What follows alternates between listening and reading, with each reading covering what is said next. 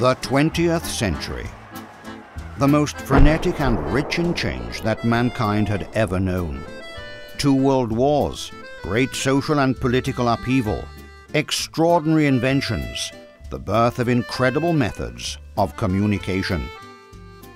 The Church undergoes a period of crucial reform.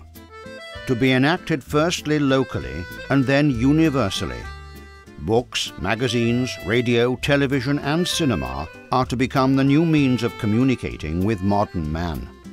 The hero of this revolution is a priest, who, from the beginning of the 20th century, will usher in this new communication in the Church, which will herald a religious editorial empire with a presence in 64 states across five continents. Father Giacomo Alberione foresees the Second Vatican Council 50 years before it begins.